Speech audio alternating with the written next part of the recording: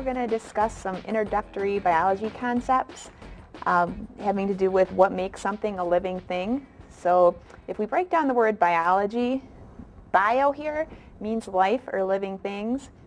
Ology means the study of. So biology itself is studying living things. So before we can get into that, we need to discuss what actually makes something a living thing. And there's five characteristics that we will be going over. The first characteristic of living things is that all living things show organization, which means that they are made out of cells. Cells are the basic units of all life. So in order for something to be living, it must be made out of cells that make it function.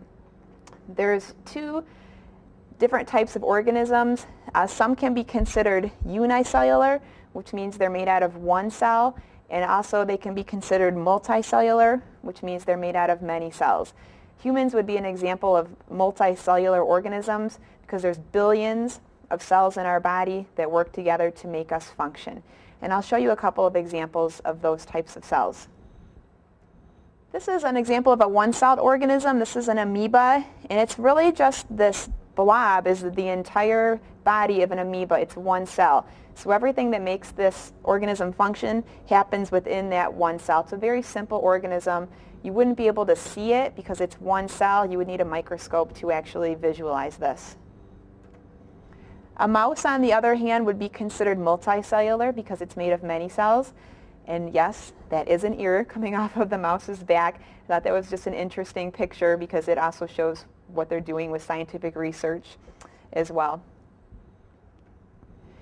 A second characteristic of living things is that all living things are able to reproduce, which means they're able to continue the species.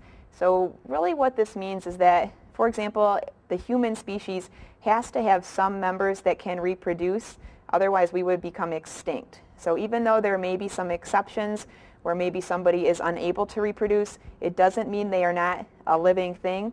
It is really looking at a species level that some members of the species have to be able to reproduce so that the species does not die out.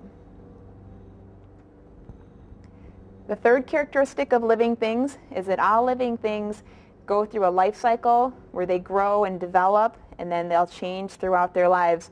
So really what this means is, and you can relate this to your own life, you think back to when you were a, a child and how you are now, you've changed throughout that time. And as you continue throughout your life, you will also continue to change. And then eventually all things will die. So all living things go through this life cycle. Um, if it's an insect, for example, the life cycle may be very short, but they still go through this being born, changing, and dying. And humans, the life cycle might be longer, but we still all go through this life cycle.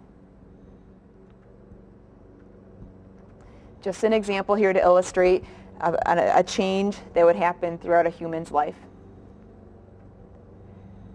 The fourth characteristic of living things is that all living things are able to adjust to their environment, which means that if something happens to you, if somebody comes along and steps on your foot, that's considered to be a stimulus and you would have a response to that. You would feel pain and you might say, ow. So that means that you're a living thing. You know, if I came up and punched the wall, the wall doesn't react. It's not a living thing. So all living things have some kind of response to what happens to them. The example that's listed here would be if it was cold, your body would shiver and you might get goosebumps. You do that because you are a living thing responding to what's going on around you. This goes with being able to adjust to the environment. This word here is homeostasis, which means that because you're a living thing, your body internally will regulate itself to the environment.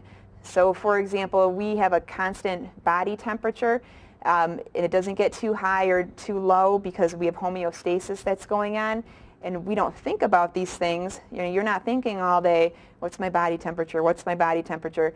Your body does that on its own. And because you're a living thing, you're doing homeostasis. When homeostasis stops, you will no longer be living because homeostasis is, it goes with being able to adjust to the environment.